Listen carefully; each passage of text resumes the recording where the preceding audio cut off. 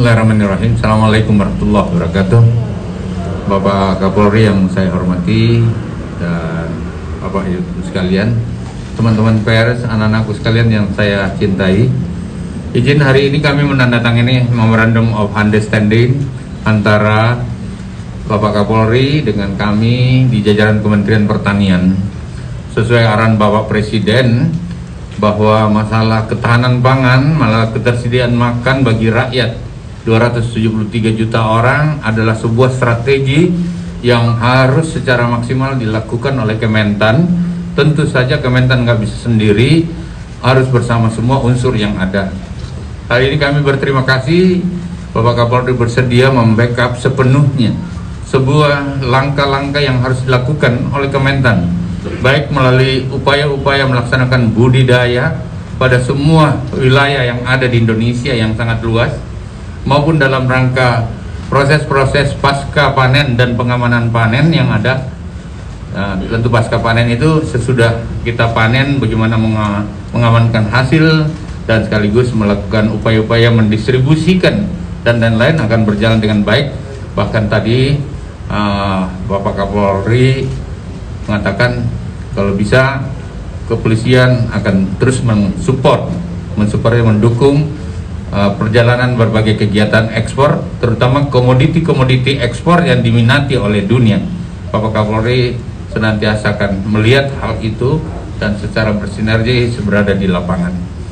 Yang keempat, secara khusus tentu pada daerah-daerah yang rawan yang akan kami porsir seperti uh, daerah-daerah uh, perbatasan dan lain-lain, tentu saja kita berharap pengamanan uh, kepolisian akan semaksimal mungkin sehingga semua budidaya akan berjalan sesuai dengan apa yang menjadi rencana di Kementerian Pertanian dan ini semua nah tentu Bapak Presiden minta bukan besok, bukan lusa, hari ini juga semuanya harus dilakukan lebih maksimal untuk mempersiapkan ketahanan pangan kita. Saya kira itu dari saya, dari hasil MOU ini. Terima kasih Bapak Kapolri. Assalamualaikum warahmatullahi wabarakatuh yang saya hormati Bapak Menteri Pertanian, rekan-rekan Dirjen dan rekan-rekan pejabat utama Mabes Polri serta seluruh rekan-rekan media yang hari ini kami dengan Bapak Menteri Pertanian baru saja melaksanakan kegiatan penandatangan MOU atau nota kesepahaman di mana nanti akan ditindaklanjuti dengan PKS yang akan dilaksanakan uh, oleh rekan-rekan pejabat utama dengan uh, dirjen terkait di Kementerian Pertanian. MOU ataupun nota kesepakatan ini tentunya dilakukan dalam rangka mendorong dan mempercepat agar program-program dari Kementerian Pertanian betul-betul bisa berjalan dengan hasil yang optimal. Seperti tadi disampaikan oleh Bapak Menteri, ada 270 juta uh, masyarakat atau rakyat yang setiap hari tentunya harus dipenuhi terkait dengan uh, masalah kebutuhan pangan dan ini menjadi uh, konsen kita untuk bagaimana mendorong agar produktivitas pertanian uh, semakin hari menjadi semakin meningkat.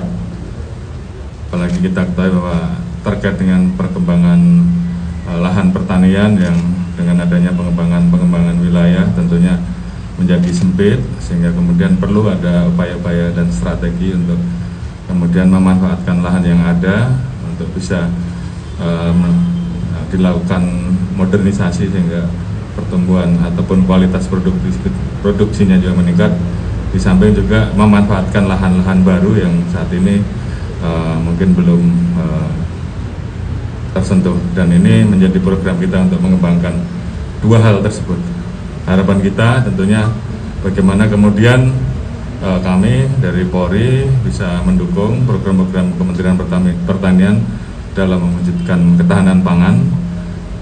Kemudian bagaimana kemudian kita bisa mengurangi ketergantungan terhadap impor terhadap eh, produksi-produksi uh, yang sebenarnya bisa uh, ditanam dan dilaksanakan uh, di dalam negeri dan ke depan tentunya bagaimana kemudian pertanian kita uh, bisa kita dorong untuk semakin bisa mengembangkan ekspor.